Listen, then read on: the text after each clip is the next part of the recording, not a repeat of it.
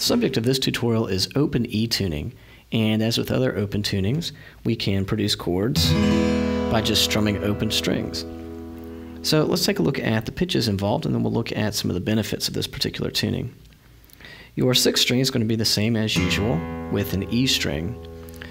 What's unusual about this tuning is that some of the other strings are actually tuned sharper than usual, so do be careful that you don't break a string as you do it.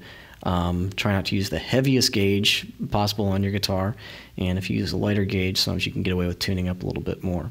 So your fifth string is going to be tuned up a whole step to a B note.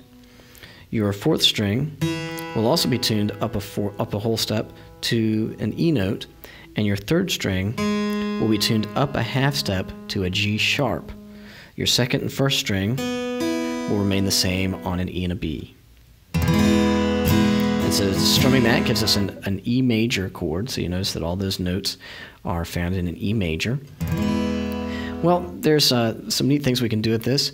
Uh, of course, we can strum and produce a major chord, but also we can bar six strings and produce major chords as well leaves your other three fingers free to make embellishments and add other tensions. Uh, some other things that you can do with this tuning that are kind of interesting. Um, for instance, on an open E chord, we can take a fingering that we'd normally think of as E major in standard tuning, and we can play that and then slide it up two frets, and this produces a nice fill over an E major.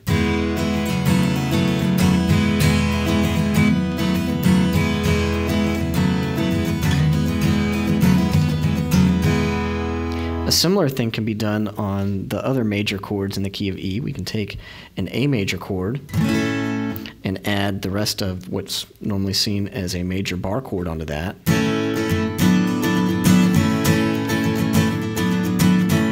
We do the same for the B.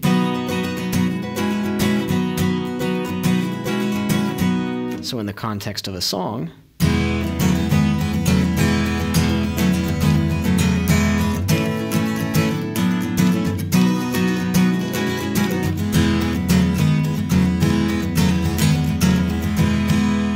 get some interesting sounds.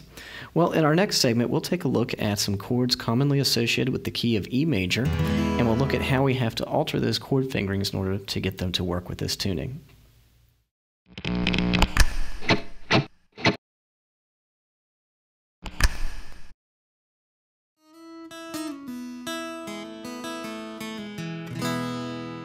So that starts with a uh, slide from the fourth fret to the fifth fret on the second string, you could use your third finger. Then the open first string.